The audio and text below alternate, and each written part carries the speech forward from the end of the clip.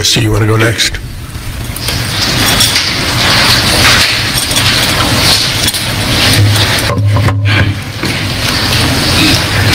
Good morning.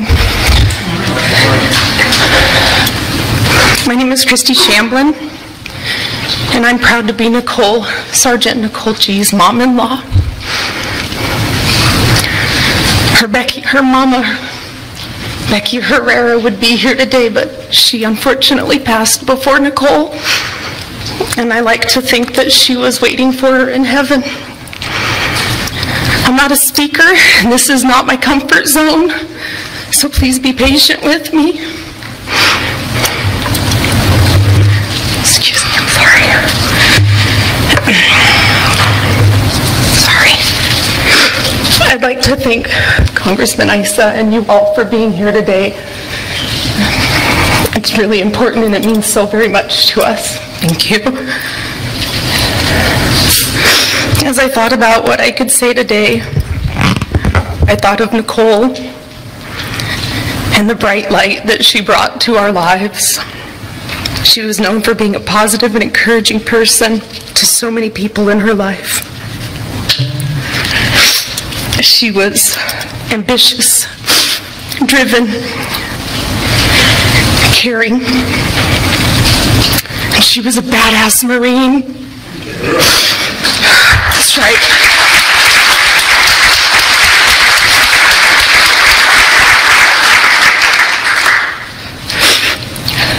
One of my favorite memories of Nicole includes the picture that was taken of her just days before her murder in Afghanistan. She's holding an infant.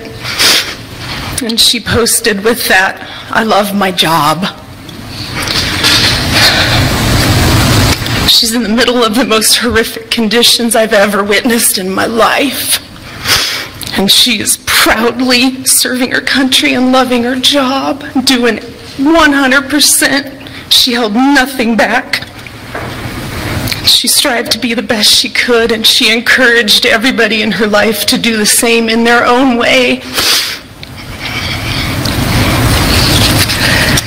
My son was an active duty Marine at the time of her death also. They were a Marine couple stationed at Lejeune, Lejeune in North Carolina. I'm very proud of my son.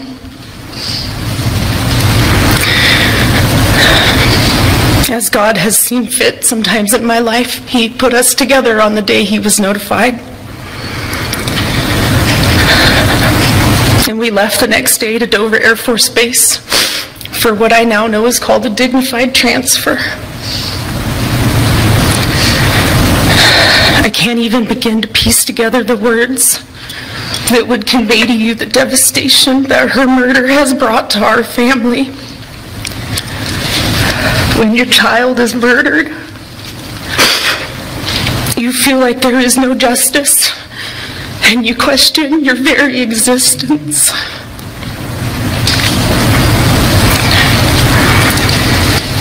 I'm happy to tell you that success with the support of the Marine Corps and mental health professionals does come in small doses. And you gain small footings every day to make a new chapter in your life. We're grateful, so very grateful for people like yourselves and the Americans who want to hear our children's stories.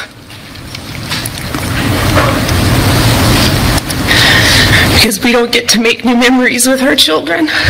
All we have is their mem- their you know our memories. All we have is the stories that we get to share with you guys.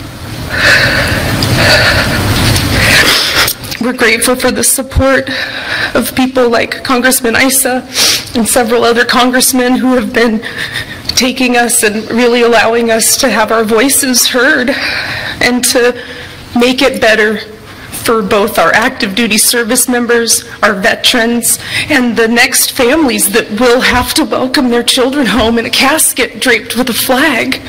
It will happen again. It is the cost of the greatest country on earth, and it's the cost of our freedoms.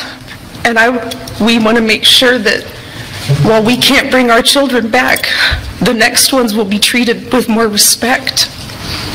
the respect that they earned by dying for our country. Helping for a positive change is a silver lining for our family. When our leaders, including the Secretary of Defense and our Commander-in-Chief, call this evacuation a success, as if there should be celebration, it is like a knife in the heart for our families and for the people who came back and for every service member that served over this 20-year war. I live every single day knowing that these deaths were preventable. My daughter could be with us today. And that wasn't just one decision, it was many decisions. Many times over, it could have been stopped. So to call it a success is uh, uh, an ultimate disrespect for the very people that deserve every ounce of respect that we can give them. That day, there were 13 avoidable deaths of our service members. 30 plus critically wounded, wounded warriors who have our hearts. These young men and women came back bigger patriots than they left. I don't know how that's possible. And I admire them from the bottom of my heart. We left thousands, thousands of allies behind. Billions of dollars in resources for them to use against us.